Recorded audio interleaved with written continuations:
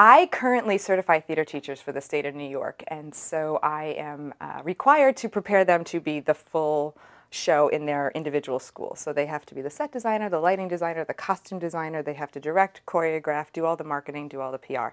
I am qualified to teach people how to do that because I came to Fairfield. Because the way Marty and the others set up the program was we had to do, we're such a small program, we had to do it anyway, but the way that the requirements were, we had to work both backstage and be on stage, regardless of what your career ambitions were.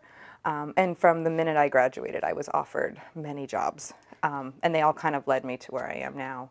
And I, I, I unequivocally would not be where I am if I hadn't come to Fairfield.